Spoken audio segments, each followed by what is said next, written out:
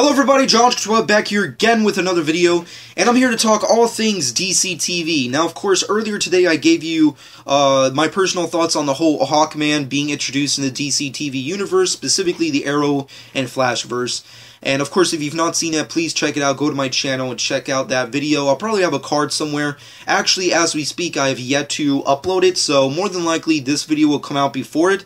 But nonetheless, please go to my channel to check out that video. But that being said, let's get into all things Vandal Savage. We just, as we speak, have gotten confirmation and official notice from Warner Brothers TV and CW as to the actor who will be portraying the character of Vandal Savage, and we got a brief description of the character himself and how he'd be featured in within this new um, Flash and Arrowverse. Now, of course, um, DC's Legends of Tomorrow is the newest CW crossover show that will be premiering, I want to say, early next year, possibly January January, and uh, will be, uh, I guess, taking place maybe at the mid-season points of Flash season two and I guess Arrow season four, and will be featuring a whole bunch of new characters that we have not yet to really explore, like Hawkgirl and so on and so forth.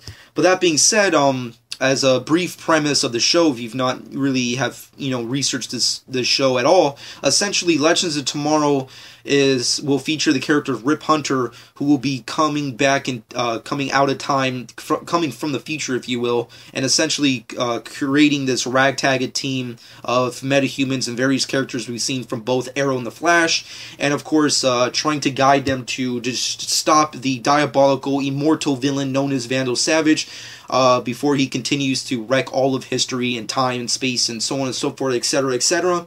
And I'm really hyped to see this show. I saw the first look trailer, I liked it, and um, I really can't wait to see uh, how this show comes together and how it goes forward, and, and and whether or not at some point we will ever get a legitimate DC TV Justice League show. But that being said, uh, I really can't wait to see what Legend of Tomorrow is going to be all about. But that being said, we got uh, actor Casper Crump, who will be portraying the main antagonist of the show, Vandal Savage. Now, I have no knowledge of this actor. I've really, up until this point, have heard him right now. I don't really know that much about him. I haven't really seen anything he's really done. He's mostly known for um, film and TV roles from his home country of Denmark, so obviously, I guess I really don't know a lot about his history. I mean, maybe I've seen something that he's been, but as of right now, nothing's really clicking in my head. But that being said, looking at him perspective wise, uh, you know, outside uh, looking outside the looking glass, if you will. I just he looks like Vandal Savage, so I can't really you know have too much qualms with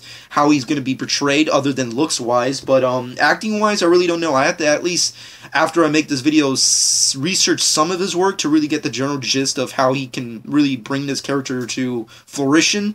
I mean, Vandal Savage in the wide masses may not be the most popularly known, you know, mainstream known DC villain, but he's a very extravagant, very interesting, and very, I guess, menacing villain, even though he doesn't have a specific ability other than the fact that he's immortal and, you know, is very smart. But other than that, uh, I, I really can't, I don't really know what to say about this. I mean, the acting, I don't know. I have to research. Look wise, I guess that's good. I mean, like, whether he goes for the short hair or long hair, it really doesn't even matter. As long as he looks like he's very menacing, he's very smart, and completely superior to everyone, which I really hope he is, then I'm all for this. But that being said, I can't really give too much more, you know, personal thoughts or debate over the casting because I really don't know that much about the actor. But that being said, look wise, I think he can pull off a Vandal Savage. Acting wise, I'm definitely gonna have to research his work to get the general gist of how he will be portrayed. But that being said, Warner TV uh, released a description for his character, and of course, it's as thus Vandal Savage is immortal, having spent the past 6,000 years moving like a virulent disease through history, whispering in the ears of, of despots and dictators, all leading to his eventual domination of the world.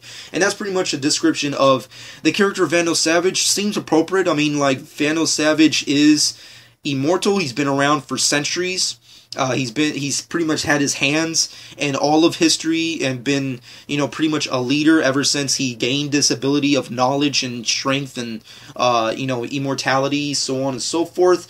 So I can't really say anything more that really makes me go, oh, this is gonna suck. I pretty much am looking forward to it. I mean, DC's Legends of Tomorrow, the more and more I you know look at the show, I really can't wait to see more. I mean, it looks pretty freaking interesting. Uh, the actor looks pretty cool. Um, Vandal Savage is an awesome actor. Um, awesome actor, awesome character rather. And I just really hope CW blows this out of the water with this specific character because, you know, Vandal Savage, even though he may not be a mainstream DC villain, he's still a pretty badass interesting character, so I hope they really do him justice, and I hope Legends of Tomorrow really fucking destroys, specifically with him as the front runner, as the main. Because if Vandal Savage in this universe is such a threat that they have to have these characters come together, he has to be badass. If he's not, then what was the purpose of even having these characters come back together to really do anything? But that being said, can't wait to see what DC's Legends Tomorrow is all about. Can't wait till next year to check it out. The actor, the actor himself, I'm definitely uh, going to have to research to see the general gist of his acting skills.